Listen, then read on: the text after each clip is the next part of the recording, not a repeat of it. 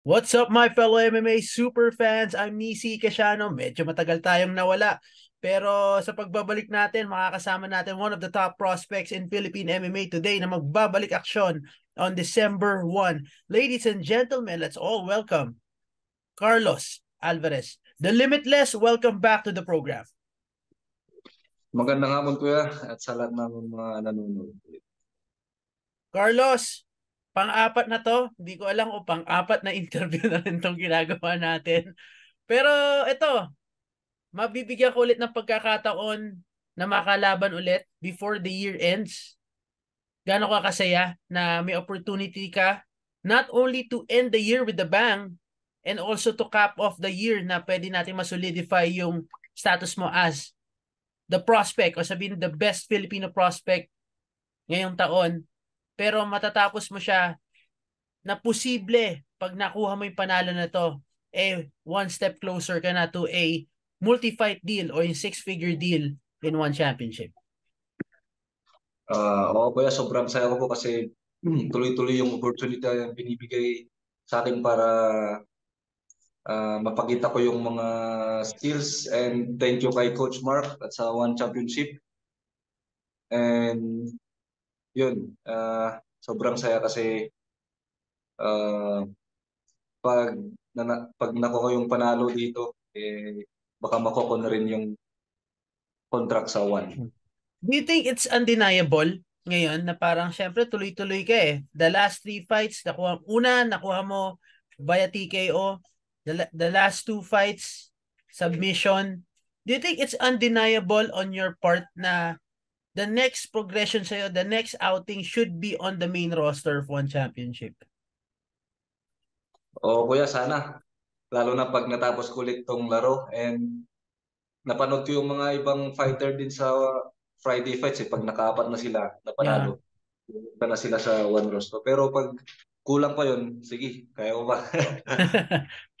Ikaw, Carlos, paano mo siya tinitignan? Kasi uh, it's going to be the first time eh. Alam naman natin si Enk Orgil, nakapunta ng main roster kalaban si Janlo, pero hindi siya nabigyan talaga ng six-figure deal. Talagang it's a natural thing na kasi dahil sobrang handa na niya for the main roster. If ever man, ikaw yung unang MMA fighter to have that kind of opportunity, that kind of, to accomplish that kind of, sabihin natin, feat as a fighter. How do you take it? How do you look at it? Uh, do you see it as a privilege do you see it as a motivation or do you see it as a big target on your back sakaling mangyari yun?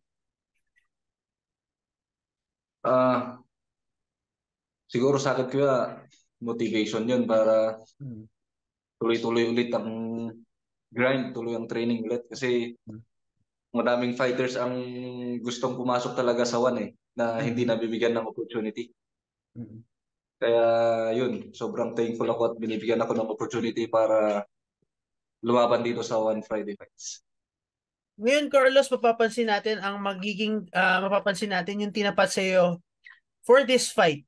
Uh, masasabi natin talagang masusubukan itong ground game mo because for the last three fights, talagang pinakita mo yung other side of Team Lakay which is yung growing ground game.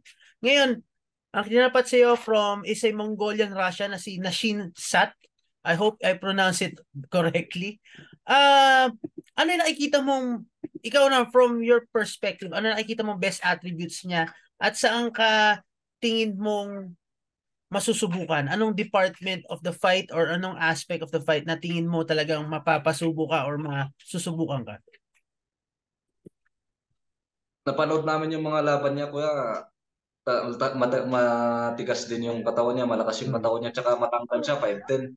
Mm-hmm. Kaya maganda yung mga sipa niya. Yun yung hmm yung isa yung advantage niya sa akin is yung reach. Uh-huh. And nakita ko rin yung ground game niya. Madami siyang mga counter submission, maganda yung escape niya. Pero uh-huh. gumawa kami rin kami ng mga game plan para sa kanya and naniniwala akong we have the best game plan. Nasabi nga ni Coach Mark sa mga past interviews niya, nakikita ka niya, is you're the one of the most well-rounded fighters uh, in the sport today in terms of Philippine MMA. Uh, do you plan to showcase that in your in your fight? Ngayon na parang nasasabi mo nga na sobrang step up yung level of competition na makakasagupa mo in your next fight na posibleng would put a stamp on your readiness or your preparedness to head on or to head into the main roster? O kuya, uh, gagawin ko pa rin yung laro ko. Uh, I'll mix it up and strike, ground game, lahat ulit. Uh, gagawin ulit natin yun kasi MMA yung laro eh. Tsaka ganun, yun yung laro ko talaga. We're talking about the best attributes ito nga makakalaban mo on December 1. Pero ano yung nakikita mong sabihin natin, loopholes dun sa uh, skill set niya na you wish to capitalize? Na para nakikita mong, oy, sa departamentong to, mas lamang ako. Ah, para sa akin kuya yung boxing. Mm-hmm. Um, tinitingnan ko yung boxing niya, may mga butas na pwedeng mm.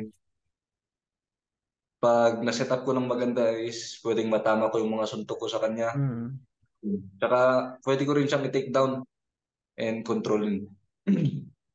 Ngayon, Carlos, alam naman natin na galing kayo sa isang masasabi natin month-long or sabihin natin three-week-long excursion uh, sa Thailand.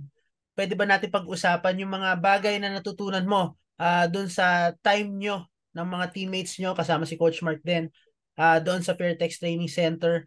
Uh, ano yung mga valuable lessons na tingin mo would supplement your development as an athlete?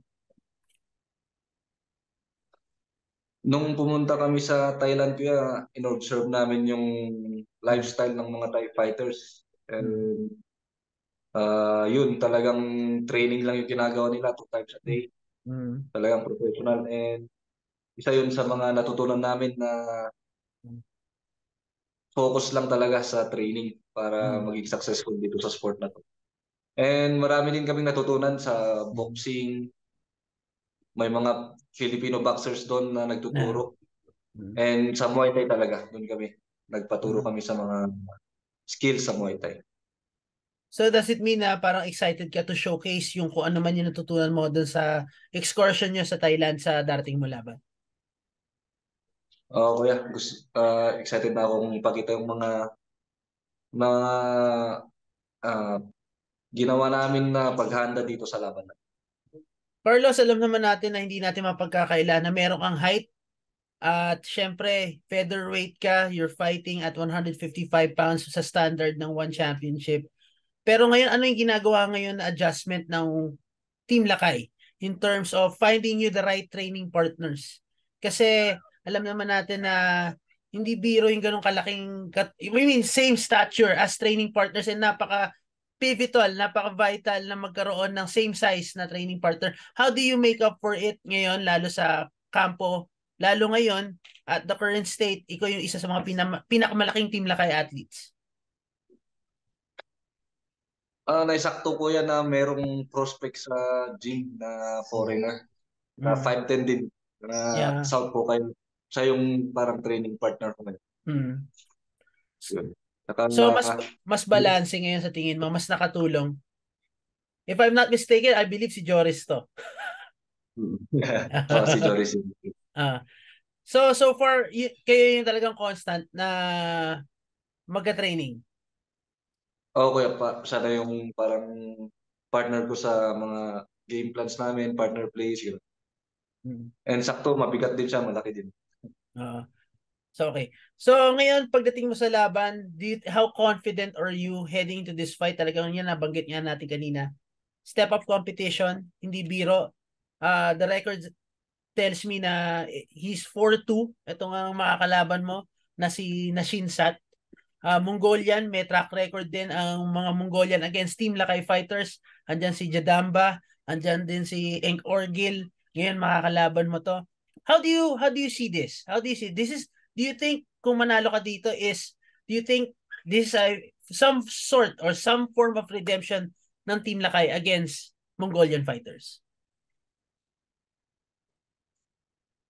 Uh, yung uh, yung confidence ko dito kuya nakukuha ko nakuha ko sa preparation namin dahil galing ako sa mismo sa nung last fight ko diretso diretso diretso ng mm, training yeah. kaya pag pumunta sa laban na yung 100% na handa-handa and yun nga Uh, si Nachinsat is Russian o Mongolian ata Oh, siya, di ba? oh, yeah, And yun, Combination.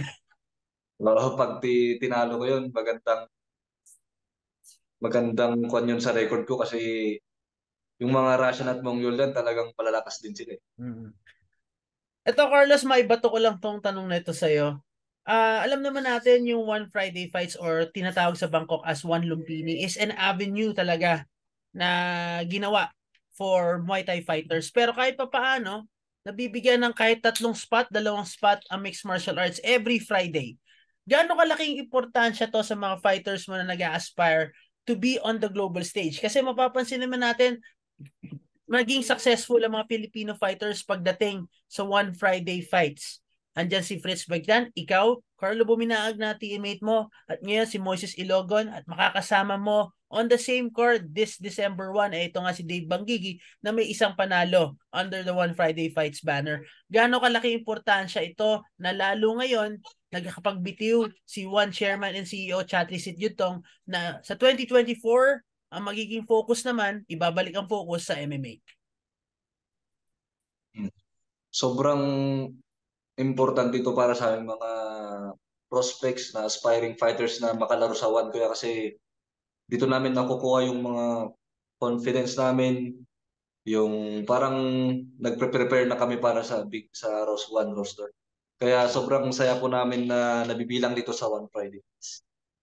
Ikaw ba, do you think it is, uh, do you see it as sabihin natin a badge of honor na kayo, yung batch nyo, sabihin natin, yung unang batch, yung year one batch for One Friday Fights ang nagsimula ng trend na kaya ng mga Pilipino at then this is a a viable path kung gusto nyo makapasok sa world stage katulad ng One Championship?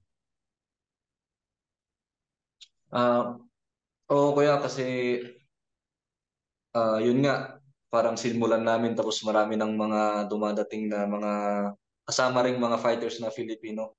And hopefully manalo rin sila and maging successful din at mapunta sa One Roast. Carlos, sunod-sunod, lahat, meron ka 100, sa mga hindi nakakaalam, 100% finishing rate ang Carlos Alvarez. Limitless talaga. talaga pinapatunayan mo limitless. Ngayon ba, do you intend on sustaining that win streak via finish? O masasabi mong come what may uh, pagdating na lang sa laban on December 1? Uh, para sa akin kuya, uh, sa training we always uh, work to finish kaya hmm. hoping na makuha yung finish at panalo dito sa laban natin. Hoping for a finish in what manner? Lalagay na kita sa hot seat ngayon. uh, siguro kung kuya by striking uh, uh, so by by striking so you intend to knock out this person